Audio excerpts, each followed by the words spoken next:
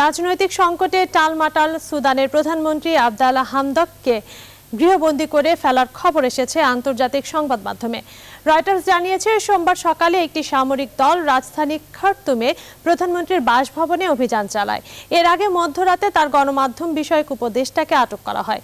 হামদের মন্ত্রিসভার আরও চার সদস্য এবং ক্ষমতাসীন সফরেন কাউন্সিলের একজন বেসামরিক সদস্যকেও আটক করা হয়েছে। তবে সুদানের সেনাবাহিনীর পক্ষ থেকে এ বিষয়ে কোনো বক্তব্য এখনও আসেনি। এদিকে গণতন্ত্রপন্থী একটি গ্রুপ সেনা অভ্যুত্থানের চেষ্টা ঠেকাতে সে দেশের নাগরিকদের রাস্তায় নামার আহ্বান জানিয়েছে।